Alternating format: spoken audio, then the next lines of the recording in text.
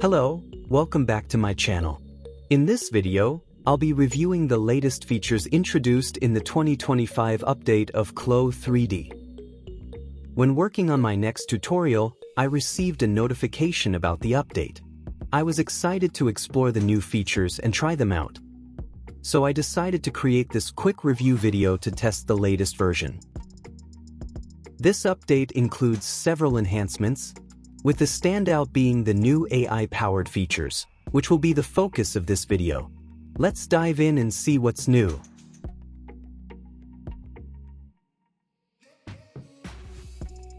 Right after downloading the new version, there's no major changes with the workspace layout.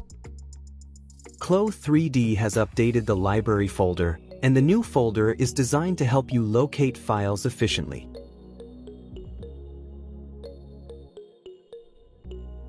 If you still prefer the old library format like I do, you can easily switch back to the original setting at any time. The first AI tool I will test is the AI Pose Generator. It's located on top toolbar, under Avatar. Once you open the window, first step is selecting the avatar's gender. A white avatar will appear in the 3D window. Type the prompt to describe the pose you'd like to create. For example, I will enter runway walking pose and click Generate. After a brief moment, the AI-generated image will appear. If you're satisfied with the image, click Generate at the bottom of the window. This will transform the avatar to approximate the pose from the image.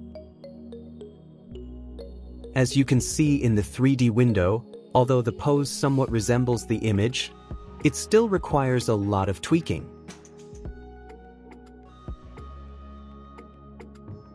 To adjust it, first save the generated pose.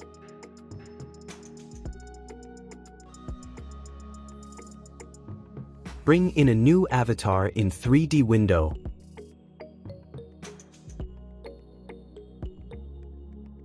and open the saved pose.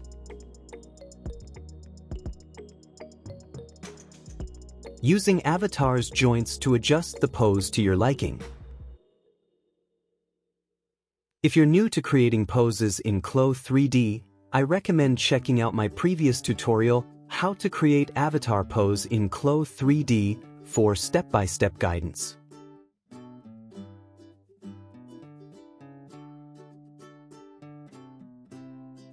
It took me about 8 minutes to adjust the AI-generated pose into something that matched my vision. For those who has less experienced with pose creation, the process may take a bit longer, as it does require some practice. By the way, you can download this pose I created for free using the link in the description. Let's explore another example. This time, I'll create a male sitting pose.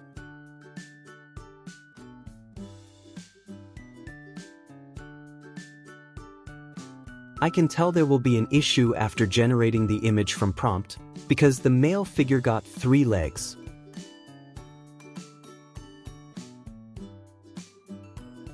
To avoid this type of issue, I will upload my own reference image instead and click Generate.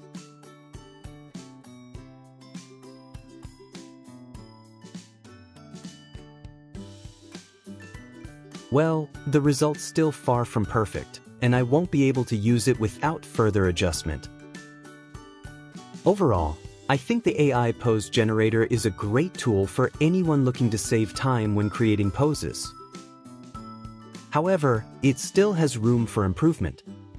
At this stage, significant manual adjustments are often necessary to make the pose truly presentable. Before moving on to the next AI feature, let me quickly mention the Avatar Editor new updates since I have the avatar in the 3D window. In the updated version, the Avatar Editor now includes options to adjust the avatar's hip dips and volume, providing greater customization.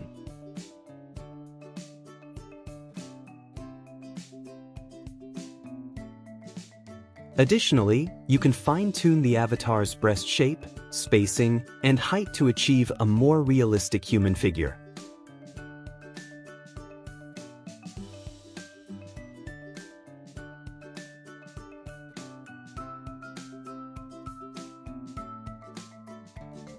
One more new updated for avatar pose, you can now flip pose to your desired direction. Just simply right-click on avatar in 3D window and choose flip pose.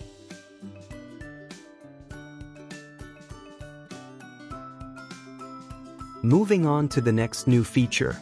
In the top window toolbar, under the 2D menu, you'll find Pattern Drafter. Click on it to open the Pattern Drafter window. Here, you'll see three type options. However, at this point, only the t-shirt option is available for selection. Once selected, you can choose a sleeve style for your t-shirt. After making your selection, a transparent pattern will appear in the 2D window, along with measurement details displayed in the Pattern Drafter window. The new Pattern Drafter function is designed to quickly generate a basic t-shirt pattern. It also allows you to input your own measurements, making it easy to draft a custom-made pattern.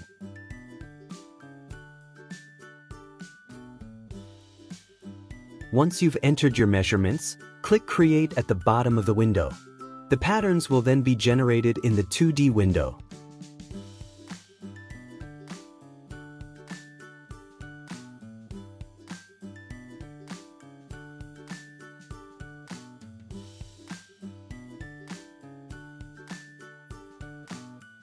In the top right corner of the Pattern Drafter window, you'll notice the AI Pattern Drafter feature.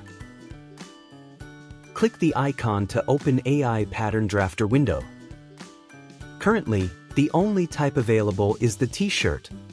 To use this feature, you'll need to write a prompt describing the desired t-shirt style to generate an image. Alternatively, you can click the file icon in the prompt window to select preset keywords.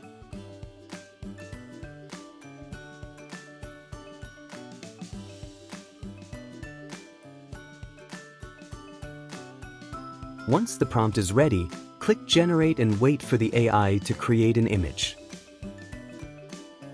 Keep in mind that the image may not always turn out as expected. In such cases, you can refine the prompt and regenerate it. Let's try that. I'll adjust the prompt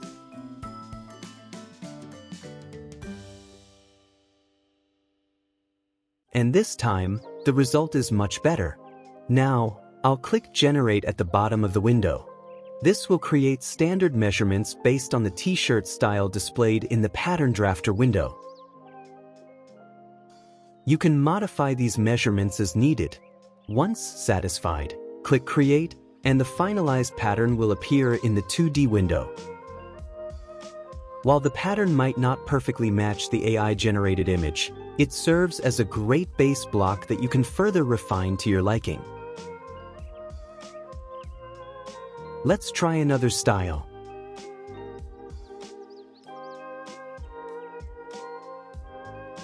This time, instead of typing in prompt, I will upload an image of a flat sketch.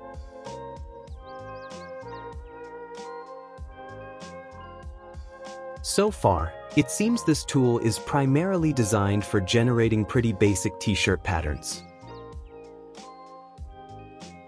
If you're just starting to learn pattern making, this AI tool could be a great help in creating a base block that you can modify as needed. My final thoughts. These AI features are the major updates to the 2025 Clo 3D version. While the tools sound promising, there are limitations. The patterns generated don't always match the AI images, which can be disappointing. Additionally, I've encountered an issue where I can't continue using the AI pattern drafter without restarting Clo 3D, which is inconvenient. If you've experienced the same problem, please share your feedback in the comments section. Overall, the 2025 updates include some useful features, but the AI functionality feels inconsistent at times. Hopefully, Clo will refine and enhance these tools in future updates. Thank you for watching. Don't forget to like, subscribe, and turn on notifications for more tutorials coming soon.